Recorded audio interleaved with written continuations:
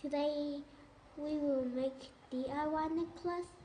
So the materials you will need is scissors and bigger straw.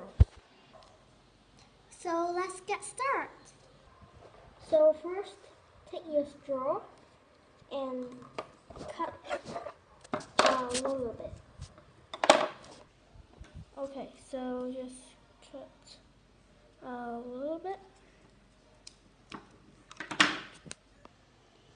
So uh, there's need this, this size, and just nearby half cm.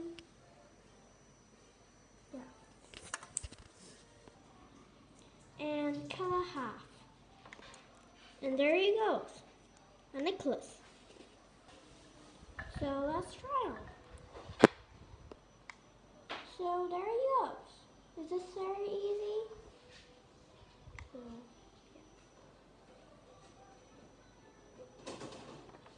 And that's so easy. Thanks for watching. Be um, remember to like, comment, and subscribe. Bye.